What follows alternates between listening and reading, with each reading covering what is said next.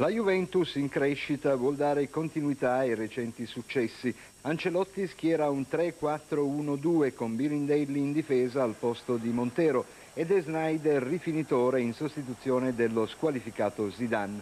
Nel Bari Fascetti, che ieri ha compiuto 61 anni, adotta l'1-3-4-2, manda in campo Madsen al posto dell'indisponibile Collauto.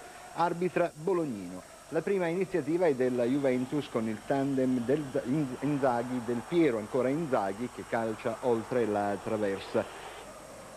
Il Bari replica con un angolo di Mansen e un colpo di testa di Anderson che impegna Van der Sar. Duello aereo Conte-Anderson, al peggio il capitano della Juventus che rimane qualche minuto stordito ma poi riprenderà regolarmente il suo posto, nulla di grave per lui.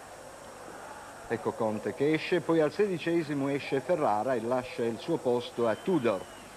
Lungo rilancio di, Ferra di Zambrotta in direzione di Inzaghi, protesta il centravanti della Juve nei confronti di Bolognino per un presunto fallo di mano di Garzia, ma l'arbitro lascia proseguire. Dal ventunesimo la Juve va in vantaggio con uno scambio del Piero Pessotto che eh, manda in rete, trafigge Mancini con un gran tiro dal limite, la difesa del Bari non riesce a scalare, per Pessotto il primo gol in campionato, il terzo in Serie A. Poi si fa male Snyder e al suo posto entra Olisei, la Juve passa al modulo tattico 3-5-2. Il Bari si porta in avanti con Del Grosso che mette al centro il tocco di Osmanowski ma Anderson disturbato da Pessotto non riesce a correggere la traiettoria. Fascetti gioca la carta della terza punta Spinesi e manda negli spogliatoi del Grosso, un difensore, ma è la Juve che sfiora il raddoppio da Inzaghi a Conte che tutto solo non riesce a concretizzare. Si salva il Bari con Garzia e Innocenti. Con le immagini montate da Aldo Fracasso passiamo al secondo tempo che inizia sempre sotto il segno della Juventus, dell'ex Zambrotta che subito impegna Mancini che riesce a respingere, ancora Zambotta va alla conclusione, ma l'arbitro aveva fermato il gioco.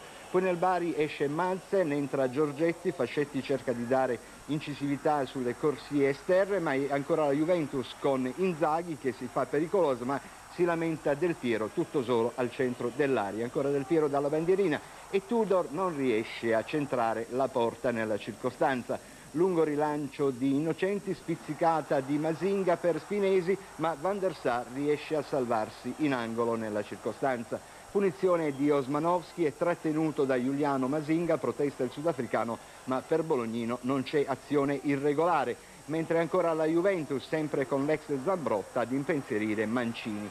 Sempre la Juve del Piero che ha disputato una buona partita anche se non è al top della condizione ma il brevissimo Mancini nella circostanza sul tocco a volo di Conte. Poi al quarantesimo si addormenta un po' la difesa della Juventus, Caparbia l'azione di Spinesi, Marchi centrato nella ripresa viene atterrato da Giuliano, la punizione la batte lo stesso Spinesi che trova un varco nella barriera e realizza la rete dell'1-1 al quarantesimo minuto. Vedete c'è anche un impercettibile tocco da parte di Pessotto. Poi entra Kovacevic e dopo un minuto per questa manata ad Anderson viene espulso dall'arbitro bolognino. Dunque la Juventus ha perso Kovacevic nella fase